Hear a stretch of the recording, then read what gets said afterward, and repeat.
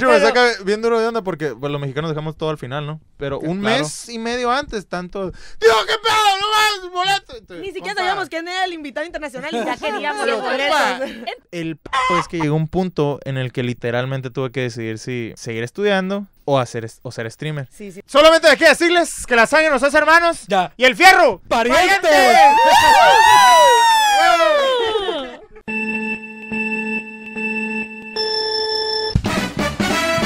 Aquí comienza Reset, el programa más cool de videojuegos de Radio Sonora.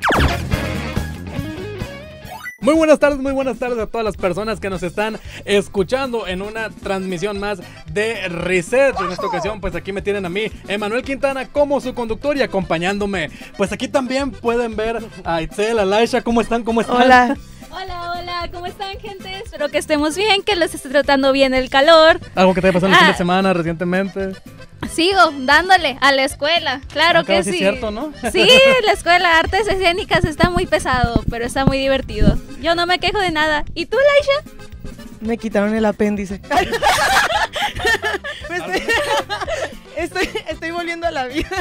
No, pues estamos Digo, en esta ocasión, en este programa de hoy, pues tenemos una dinámica diferente eh, a lo que pues ya tenemos acostumbrados en otras ocasiones. eh, en Reset, pues una en- entrevista con un invitado bien, bien perrón. En esta ocasión nos acompaña César Valenzuela, o mejor conocido como el tío Cactus.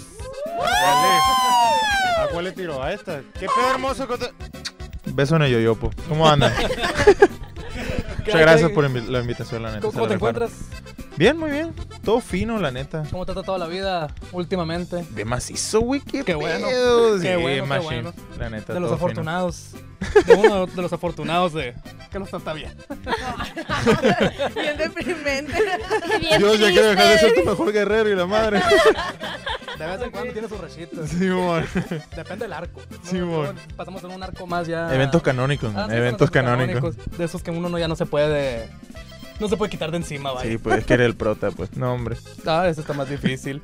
Y bueno, también este recordarles antes de comenzar con esta entrevista, pues a todas las personas, pues los números a cabina y a WhatsApp, a todas aquellas personas que quieran mandar algún mensaje hacia alguno de nosotros los locutores o al tío Cactus al entrevistado, pues el teléfono en cabina, el 66 22 20 01 41 y el número de WhatsApp, el 66 28 47 23 64. Oye, Tú, iniciaste en, en pues, la- las convenciones, te gusta porque te gusta todo en- la cultura pop, ¿no? Ajá. Pero tú eres streamer, ¿verdad?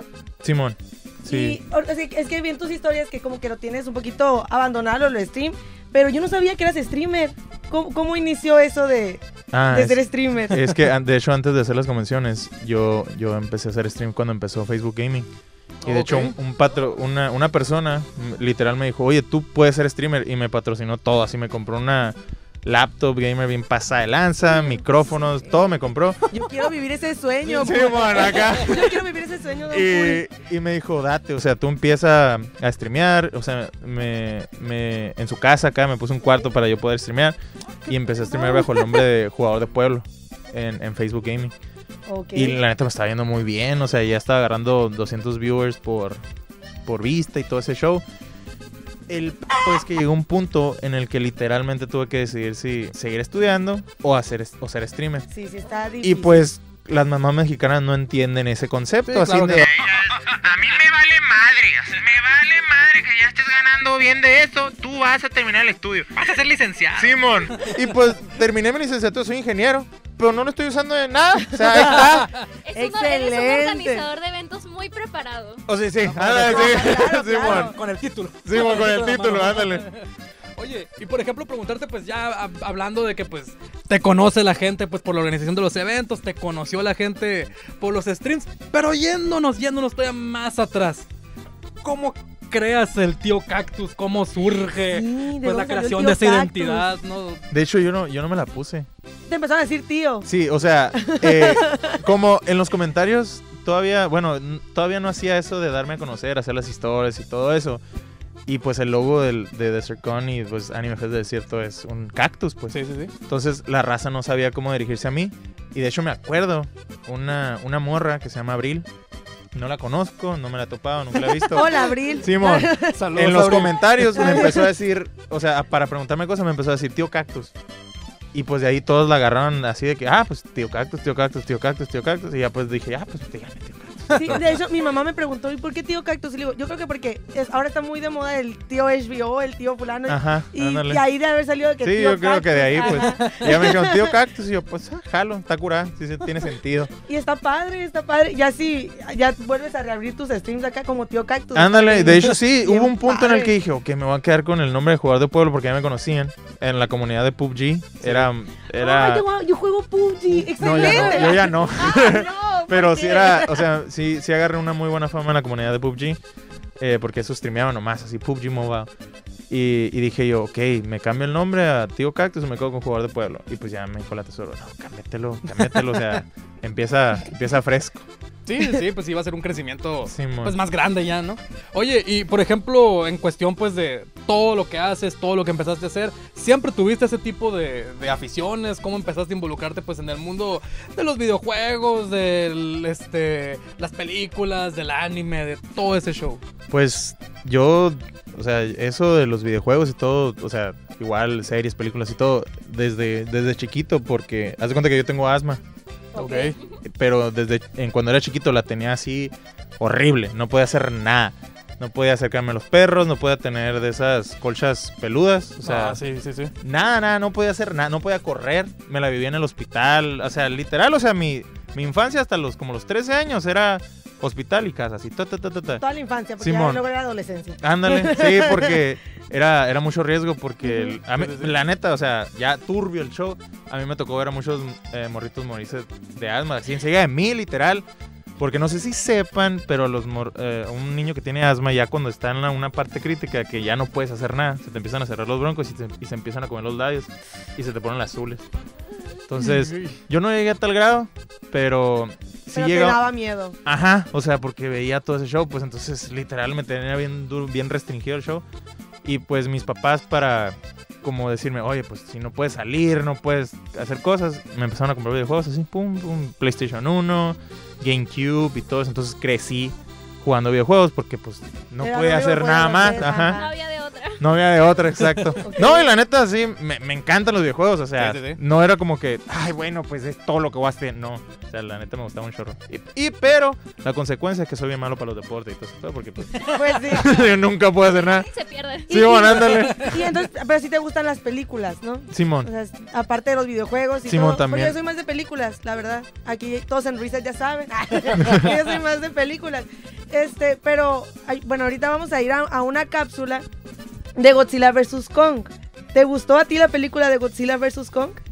pues no tanto, porque la neta yo sí soy muy fan de Godzilla. Ah, ok, Porque por mi, los mi videojuegos. hermanito, ajá, y mi hermanito también somos muy fan. Pero la neta no. ¿No te gustó la película? Sí, no. O sea, Mecha Godzilla, no, como que no le dieron una A mí historia bien curada, pasó tanto la eso. neta. Ah, ok. Entonces tú eres Team Godzilla, ni siquiera te voy a preguntar. Sí, ¿O mo, Oh, sí? ándale. Sí. Pero que se madrean así al, al Kong, sí estuvo, sí estuvo ni al caso, o sea. Yo soy Team Kong. o- el- Pero- sí, mo, ándale. es que el, el, el, sí, mo, el King Kong está bien pesado, pues, y así como que, ah, pues es el último y está bien estúpido y todo lo pueden agarrar a cachetadas. Se me hizo bien, Sí. me hizo bien al caso, pues. Entonces nos vamos a la cápsula para, para hablar del tema y luego volvemos. Va. Chido. Luces, cámara, acción. Empieza la función de visto en pantalla. Hace ya dos años, Godzilla vs. Kong eran el boom del mundo del entretenimiento. Y hay dos razones principales para esto. Número uno, estábamos volviendo de pandemia. Fue de los primeros estrenos después de la reapertura de los cines. Y número dos, literalmente son los más grandes titanes del mundo del entretenimiento. O sea, son Godzilla y Kong. Se dice que el primer videojuego de King Kong fue un plagio del mismo Donkey Kong en 1982 para el Atari 2600. Cuatro años después, en Japón sale King Kong 2 y Karino Megaton Punch para la NES. Un juego traído por la reconocidísima Konami y casualmente un juego de vista aérea muy similar a Legend of Zelda, que salió un poco antes de King Kong 2. El juego Konami Wild World es un crossover de varios personajes de Konami, como Simon Belmont de Castlevania y Human de Mystical Ninja, siendo un juego de plataforma pero con mucha acción y música súper épica. ¿Cuándo han escuchado que un videojuego basado en una película sea bueno? Probablemente muy pocas, pero este título es diferente. Peter Jackson es el director y productor de las películas de El Señor de los Anillos y El Hobbit. En el 2005 se estrena la película de King Kong dirigida por este señor. Ese mismo año sale Peter Jackson, King Kong Video Game para muchos, el mejor juego de King Kong. Este título es un shooter de acción y aventura basado en la trama principal de la película. Godzilla ya era considerado un monstruo de culto para cuando salió su primer videojuego titulado Godzilla en 1983 para la Commodore 64. En otro juego llamado King of the Monsters es un título de peleas donde el monstruo que queda noqueado es el perdedor. Dentro de los personajes jugables encontramos a Gijón, un monstruo parecido a Godzilla, y Yao, un gorila gigante que está inspirado en King Kong. ¿Y ustedes qué son? ¿Team Godzilla o Team Kong? Compártanoslo en nuestras redes sociales. Ya saben que nos encuentran en Instagram y Facebook como Reset947 y en YouTube como Reset. Muchas gracias a tu pasada Laicha por habernos dado la información y pues hablando, siguiendo hablando de diferentes franquicias o cosas así, ¿hay algún juego, película, serie, lo que sea, que sea tus favoritos? ¿Cuáles son tus favoritos? Eh, pues mi juego favorito así de, de siempre, que nunca me va a aburrir, es, el, es el- la saga de Metro Prime. Y mi favorito es el Metro Prime 2 Ecos. O sea, me lo sé de memoria ya. o sea, no- Ni siquiera tienes que pensar. Sí, no. es. Sí, o sea, está bien curada porque haz de cuenta que el juego, cuando no sabes qué hacer, te alerta para dónde ir, pues. Y a mí, literal, me la pasé todo el juego y nunca me dijo, nunca me tiró la alerta, pues, de para dónde ir. O sea, ya Ok. de tan de memoria que me lo sé. Está Es bueno para novatos entonces. el, el Metroid. Sí, pues dice que te alerta. Sí, pues sí, ándale. O sea, sí o sea, te, yo lo sí puedo te jugar, yo que nunca he jugado nada. Ajá, o sea, haz de cuenta, es que es como Ya un mapa, pues, y te dice, ah, pues si estás perdido, te dice, oye, aquí hay como una, una alerta sísmica o ese tipo de cosas. ¿no? Ah, Así ok, como- ok. Entonces, como que te tira para donde. Y película, serie, favoritas. Eh, Para mi- tener una de cada una. Simón, a ver, película. Pues cuando, cuando era chiquito estaba obsesionado con el dorado. Uy. O sea, la, ten- sí, la- la tenía Yo que ver. sí, por sí. La tenía que ver sí. así siempre. Pero recientemente, eh, una película. La neta, la de las tortugas niña está bien pasada de lanza. No, me había, no me había reído tanto con una película de hace rato. La nueva. Simón, la nueva. Ah, la voy a, chila. pero la voy a estuvo, estuvo bien botana, la neta, sí. sí estuvo- fan de yoyos ahí. acá. Simón, ándale. No me spoilees nada, voy a ir a verla ahorita. Y es, ¿cómo se le llama? Los, ah, y es Army también. Es, Así es cierto. sí, sí, es Army. Es No, Army. es otra. Sí. Es otaku. No, pues, o sea, que le gusta, le- es muy fan de BTS, pues el, el Donatello. Simón. Ah. Por Army, pues. gracias, chicos, Sí, gracias. Eh, de- pues Dialoguitos, dialoguitos de un segundo, ¿no? Simón, sí, no, o sea, bien, no te va a afectar la, la historia. Yo quiero saber una cosa. ¿Tienes alguna anécdota? Ya eres conocido, ya todos te conocemos como el tío Cactus, yo te conozco hace como dos años. Este, ¿tienes alguna anécdota con un fan así que algo raro que te haya pasado con un fan? Pues, Porque yo, la verdad, cuando te vi en la fila, yo quería to- pedirte foto, pero me gusta. sí, no, la neta, mira, yo lo que menos tengo es vergüenza, la neta. Entonces, eh, no me han pasado cosas raras con, con fans, o sea, sí, sí me ha tocado ir caminando, ese tipo. Una vez iba entrando a un restaurante de mariscos Simón. y, y de la nada pasó alguien pitando acá, ta, ta, ta, y, sa- y salió por la ventana acá, ¡Tío Cactus! Y yo... Pero una cosa que sí, el, haz de cuenta, no, no me ha pasado nada porque, o sea, nada como que fuera lo normal porque yo, a mí me vale madre, yo igualo la energía, pues si me llegan de que, ¡No, mames, tío Cactus! Y yo, ¡Es tú! Entonces, Eh, no, ciudadano promedio. Sí, ándale, igualamos la energía, pues entonces la interacción está curada, a mí me gusta mucho. Pero una, uno que sí me sacó de onda, pero no en mal pedo, o sea, en, en buen sentido, fue en Ciudad de México, porque esa sí no me la esperaba. Estábamos en la, en la TNT, porque era World Cosplay Summit, entonces la, la nacional, y yo tengo que ir como, como organizador, pues. Ok. Y pues estábamos en el intervalo estar esperando y yo estaba viendo qué, qué comer. Entonces había, ya había agarrado lo que, que iba a comer y estaba haciendo filas para, para un- agarrar una chata. Y, y estaba haciendo la fila. Y en una de esas se metió, se estaba metiendo un vato acá, le valió madre y se, y se puso enfrente. Y lo empecé a madrear. Yo, eh, compa, qué pedo, güey. No. Atrás está la fila, perro, ¿qué onda? Y volteó y me dijo, tío Cactus. Y yo. Me, me paró en seco, así no me la esperaba. Y yo, ay, ¿qué onda, carnal? ¿Cómo andas? ¿Qué Quedando bien con el vato, ¿verdad? no, y le pegué una pues al vato. Y ya, ¿qué, tío Cactus? ¿Qué pedo que es aquí? Y yo, me saqué bien machine, bien machine de onda, pues, y yo, ¿eres de Hermosillo? ¿No? Ok, ¿ha- ¿has ido a la de Cercón? ¿No? Me dijo, no, nunca he ido, nunca he salido de Ciudad de México. Y yo, ¿qué- ¿cómo me conoces? Ah, pues te sigo en redes, por la, sigo tu convención, ¿eres el organizador de Cercón, que no? Y yo, sí, pero no me esperaba que me reconocieran, pues.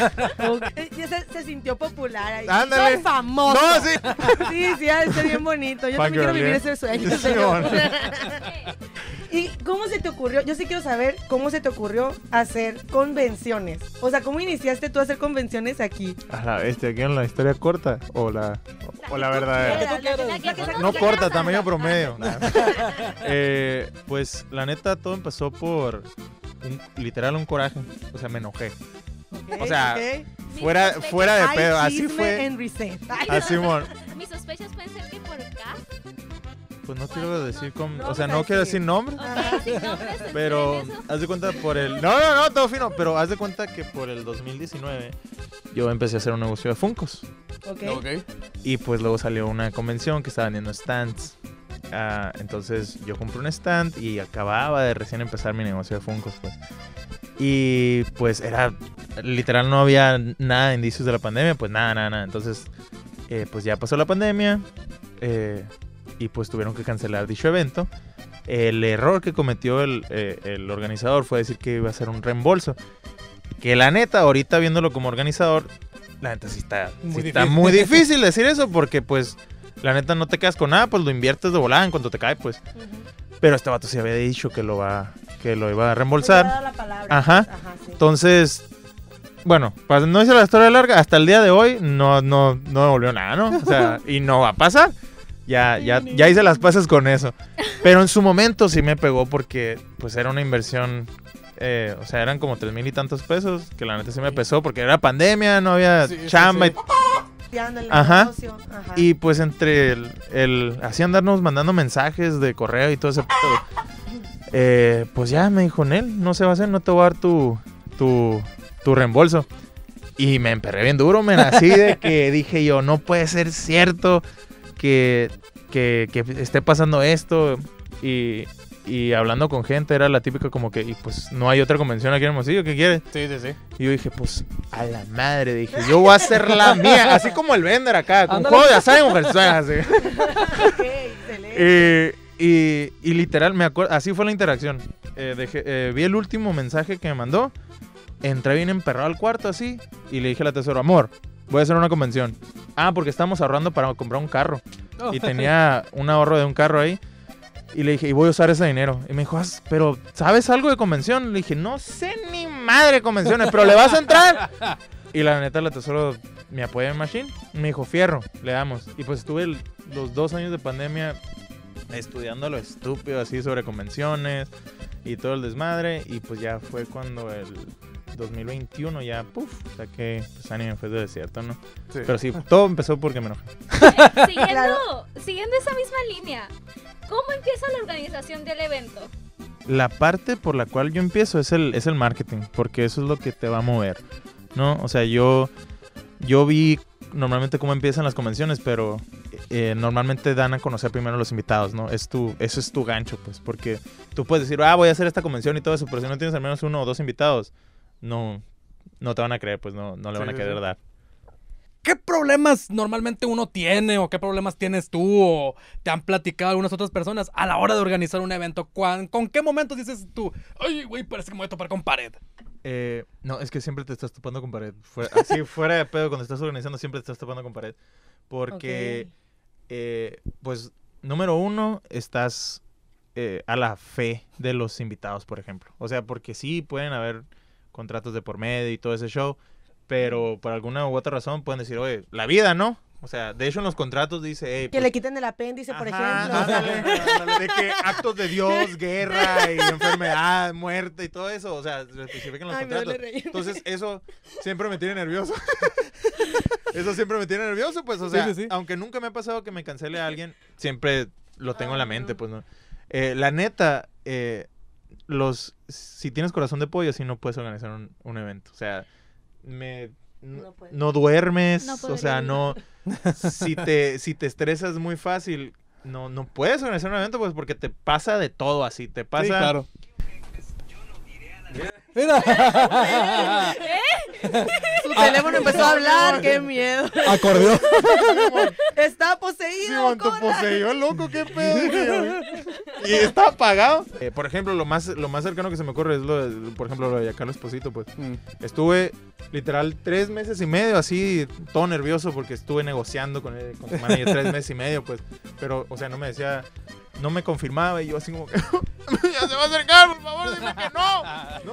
O sea, yo estaba, No, dime no, que no, no que perder la, sí, la esperanza. pues. Córtame el rollo ya, dije Mínimo, algo. mínimo dime que no, ya. Ándale, sí. Eh, Sí, mo, ándale. O sea, yo, yo soy de lo que piensa, prefiero mil veces que me digas, oye, sácate. Ah, y yo, ah, ok. Pero que me dejen volando acá me pone ahí nervioso. Sí, claro, claro. entonces, Literal, todos. toda la interacción que tuve con. O sea, es bien chila. Kelsey se llama su manager.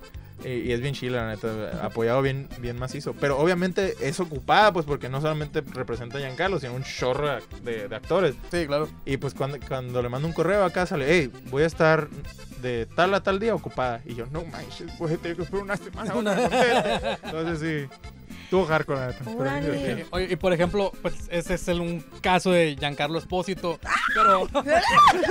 sí, sí, sí, no, no, nos contenemos aquí todos. Sí, mon. Este, pues, ¿cuál es el proceso también para invitar a más gente, eh, pues, a, a los eventos? Pues ya ha venido gente también, pues, este, Isabel Martiñono, voz de Cartman, este, Pepe Toño Macías, que también viene, este, Luis Carreño también, Luis este, luego, Carreño. este, ¿cuál, cuál es el proceso para ir invitando a todo Pues ese mira, tipo de personas? La, la, ahorita ya es pura base de contactos. O sea, ya, ya me armé contactos, ya eh, pues nos hicimos compas, literal. O sea, yo cuando yo ven, o sea, cuando vienen invitados, mi meta es uno, tratarlos bien macizo, que Claro. se la pasen súper bien y hacernos compas. O sea, ¿por qué?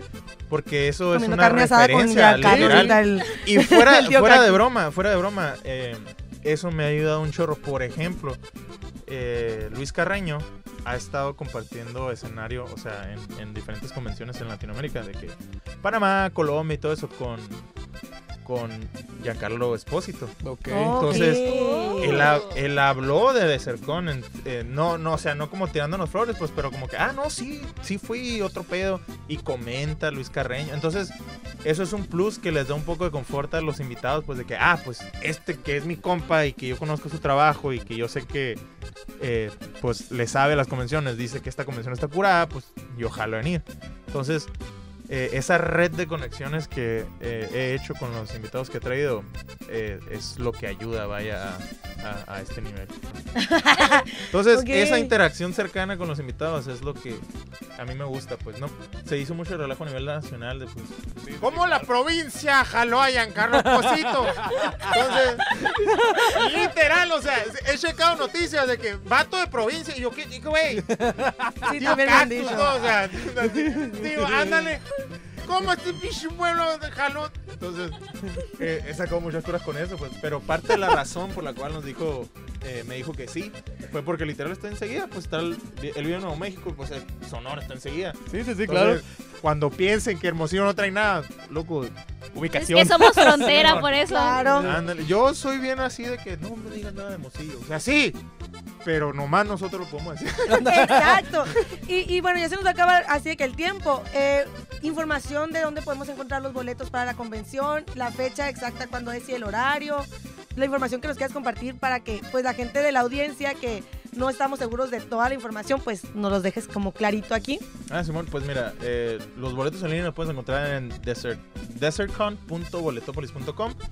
Eh, si los quieres físicos, pues está en Anime Shop, todos los Anime Shop, o sea, galerías, pabellón y solidaridad, en colecciones RR, en Zona Pau, Senior Cat, Dump Store y eh, Akitabar y Panini Point Hermosillo, ¿no? Ok.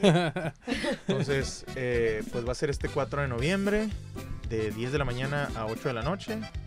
Y pues en Expo Forum va a ser, ¿no? Todo, todo Expo Forum. Pues sí, ajá, todo en Expo Forum. ¿Dónde podemos ver más información del evento? En, ah, bueno, en nuestras redes sociales es en Instagram es desertcon.oficial. Igual en Facebook nos puedes encontrar como Desertcon, pero también te va a salir MF Desierto, no me deja cambiar el nombre oficial, no sé por qué. Pero el segundo nombre ahí A mí me da risa, porque en tus redes sociales, o sea, se termina el DesertCon de, de, de inicios del año y ya te están preguntando por los boletos del DesertCon de, Ah, sí, del es, es que de, año. de hecho a estas alturas ya tengo a los invitados del, de la Oh, siguiente convención del 30 de excelente. Un spoiler. Ah, Pues al único que puedo spoiler al momento es Mario Castañeda, ¿no? ¡Excelente! Porque Para me, que vean. me lo han estado pidiendo un chorro, entonces dije, pues, Simón, todo fino. Sí, pues claro. Goku. Mario Castañeda. Sí, Ah, eventualmente. Es lo que iba a decir también. Y cobró. Pues sí, Simón, sí. Bueno, pues muchísimas gracias por, por tu tiempo. No, ustedes por invitarme, todo fino. Así esperamos que te la hayas pasado muy bien, pues. Y pues bueno, pues agradecer a todas las personas que pues estuvieron atentas en esta transmisión del día de hoy, pues agradecer a este el director general este Tirso Amante, al director de operaciones Daniel Ríos, a nuestro productor, a nuestro bellísimo amado Emilio Veraut, muchísimas ¿Cómo gracias amamos, por la oportunidad en esta ocasión de la operación en cabina Ron Dávila. Pues soy Manuel Quintana, me acompañó Itzel Laisha. También agradecer a todo el equipo de producción, a Ángel, allá atrás que también estuvo apoyándonos. Solamente de aquí decirles que la sangre nos hace hermanos. Ya. Y el fierro. ¡Parientes!